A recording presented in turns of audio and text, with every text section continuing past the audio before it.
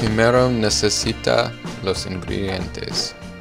Dos huevos, mantequilla, tocino, queso y el pan o la rosquilla. Agarra una sartén y encende la estufa.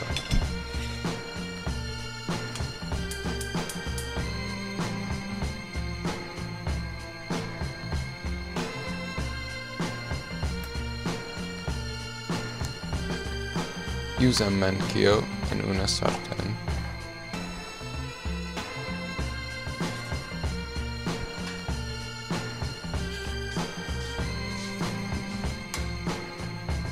Rieta los huevos dentro de la sartén.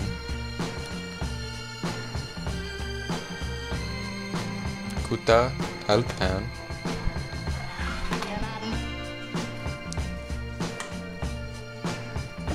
Pon el pan en la tostadora. Pon el tocino en una otra sartén.